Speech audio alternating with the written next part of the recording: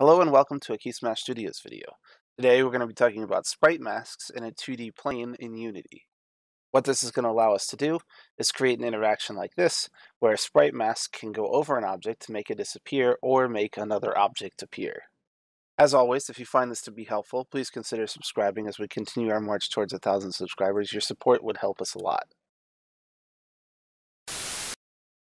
So there's three parts to this interaction working. Obviously, we have the sprite mask, the ring sprite, and then the present sprite. And the three of those work without much interaction from us. We can set this up pretty easily. And then, you know, if, if we want to attach it to a mechanic with a, with a script, we can do that just any way we normally would with a with a game object attached to the sprite. If you want to make it follow a mouse or something like that to create a mechanic in your game, by all means do so. But for right now, I'm just going to talk about how to get this interaction to work with the sprite mask. So there's three parts to it. Obviously, we have the ring in the present, and I'll go over those in a second, and we have the sprite mask. So the sprite mask, so the sprite mask is just a 2D object here. You could right click 2D object sprite mask, or you can come up here to game object 2D object sprite mask. Once you're inside that sprite mask, you just select a sprite shape. So I've used one of the standard circles. Uh, you can use whatever you want. It just follows that that image. Once you've done that, you can change any of these settings. You don't really have to though.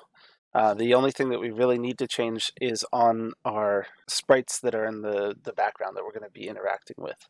So, for example, uh, on our present, we want the present when we move the sprite mask left and right. We want this present, this sprite, to be not visible when the sprite mask is over it. And we want the ring to be visible when the sprite mask is over it, but not the present. So the present, come down here to mask interaction, and normally this is set to none on the default sprite renderer. So you just come down here and you say it's visible outside of the mask only. So when the sprite is outside of this circle, it's visible. When it's inside the circle, it's not visible. And vice versa, when we get to this ring that's on the inside, we come down here to mask interaction and swap this to visible inside the mask only. And that's really all you have to do to create a sprite mask in Unity. It's pretty simple. You can attach this to your mouse, create a cool flashlight mechanic maybe on a 2D game, something like that. If you have any questions, please let us know down below. If you haven't already, check out some of the links in our description from our game on the App Store, to our Twitch channel. All those things can really help support us. Thank you so much for watching. Like, comment, subscribe, all that jazz. It really does help us out, and we'll see you next week.